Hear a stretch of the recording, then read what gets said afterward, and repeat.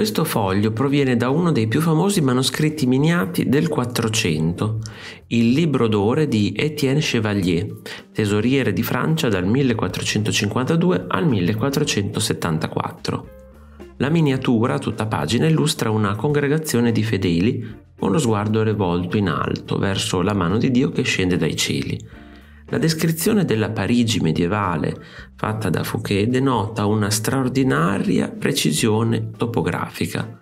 Tra i luoghi riconoscibili notiamo la cattedrale di Notre Dame, la guglia della Saint-Chapelle, il ponte Saint-Michel e altri monumenti dell'Île de la Cité come l'Hôtel de Nest in primo piano. Sul margine inferiore del foglio sono iscritte le parole iniziali della preghiera del Vespro per la liturgia delle ore dello Spirito Santo. Quest'opera fa parte di una serie di dipinti sulla vita di Enrico IV di Francia, ordinata dalla regina Maria de' Medici per il Palazzo del Lussemburgo e rimasta incompleta. Enrico di Borbone era un ugonotto, si convertì al cattolicesimo il 25 luglio 1593 nella Basilica di Saint-Denis. Il 26 febbraio 1594 fu consacrato re di Francia nella cattedrale di Chartres col nome di Enrico IV e poté quindi fare il suo ingresso trionfale a Parigi il 22 marzo 1594. Gli si attribuisce la frase Parigi val ben una messa. Barche piene di merci si fanno strada lungo la Senna. Sulla riva vicina alcune di esse hanno attraccato e stanno scaricando, mentre alcuni signori fanno affari nelle vicinanze. Durante la fine del 1700 Parigi era un vivace centro commerciale. Sulla destra c'è il Pont Neuf, uno dei ponti più antichi di Parigi. Dietro il ponte c'è un pezzo di terra triangolare, l'Île de la Cité. Le torri gemelle della facciata di Notre Dame sono visibili in lontananza. Jean-Baptiste Reguenet ha utilizzato un grande formato orizzontale per la sua veduta panoramica, molto simile a quello utilizzato da Canaletto nelle sue vedute di Venezia. I grandi turisti acquistavano spesso tali vedute urbane come souvenir dei loro viaggi in Europa. Reguenet era specializzato in vedute di Parigi e possedeva un piccolo negozio per la loro vendita in Rue de la Colombe sull'Île de la Cité. La prigione di Stato della Bastiglia simboleggia nell'immaginario collettivo l'assolutismo della monarchia, Fino al 1785 le lettere di sigillo reali consentivano l'incarcerazione senza processo di chiunque fosse inviso alle autorità.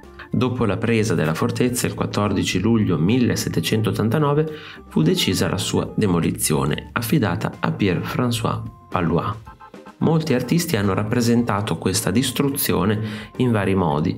Per il pittore Hubert Robert aveva una dimensione sia personale che estetica. L'artista, specialista in paesaggi di resti reali o fittizi di un'antichità sognata, cattura qui la rovina ideale della Bastiglia, a cui dà proporzioni sovradimensionate. Questa drammatizzazione è rafforzata da una costruzione sapientemente contrastata e da un gioco di luci e ombre che conferiscono al monumento una dimensione simbolica e meditativa.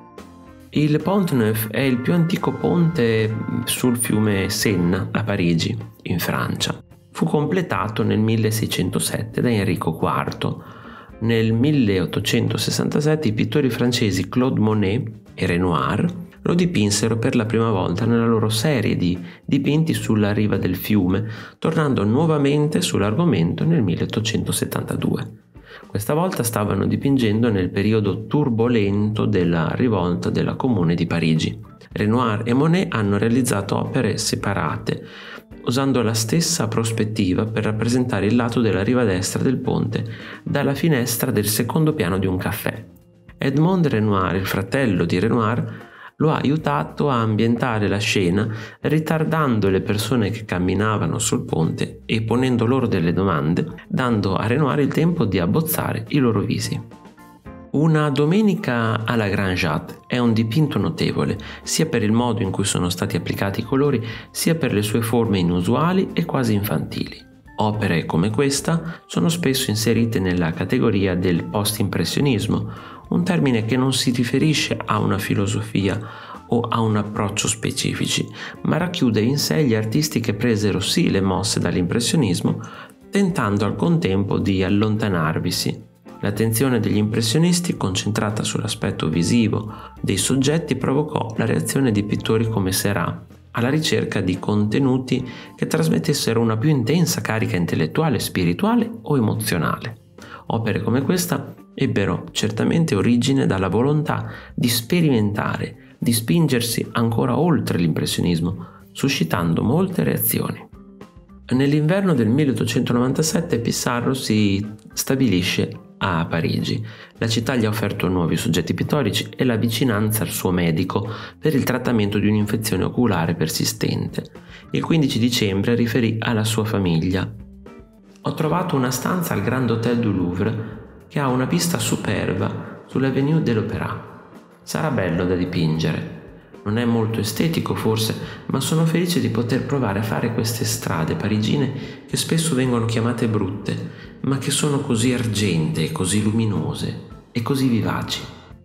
Nei mesi successivi Pissarro dipinse 15 vedute dalla sua camera d'albergo dei viali circostanti, documentando gli effetti della neve, della pioggia, della foschia e della nebbia sulla città e sui suoi abitanti.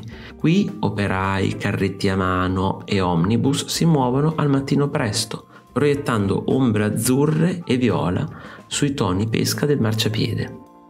Maximilien, che tra il 1887 e il 1897 fu un adepto del neoimpressionismo, ricorre per un'ultima volta alla pennellata divisa in una decina di tele che hanno come soggetto la cattedrale di Notre-Dame di Parigi, vista dal Quai Saint-Michel. La cattedrale si erge luminosa al centro della tela in una gamma di colori caldi costituiti prevalentemente da tonalità arancioni, rosa, rosse e da ombre azzurrognole. In questa parte della tela le pennellate sono sottili e giustapposte. Il lungosenna e il ponte invece sono immersi nell'ombra e lavorati con una pennellata più ampia.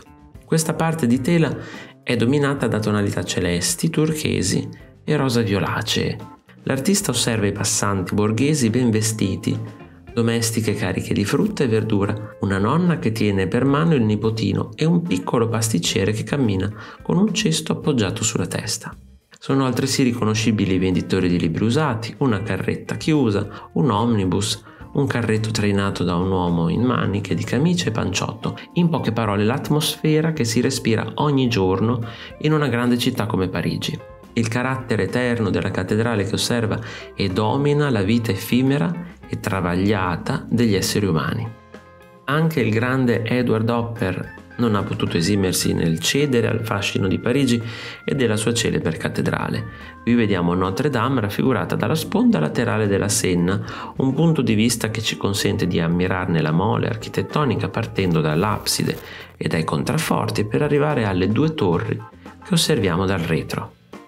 Questo olio su tela rappresenta la Torre Eiffel e gli Champs de Mars, è conservata al Museo d'arte moderna di Parigi. Robert Delaunay ha dipinto più di 50 quadri in cui la Torre Eiffel è rappresentata come soggetto principale o secondario, diventando una musa ispiratrice per le ricerche estetiche dell'artista. Se ti è piaciuto il video iscriviti al canale, lascia like e condividilo con i tuoi amici ti invito anche a visitare il mio negozio. Un saluto e al prossimo video di Arte Esplorando!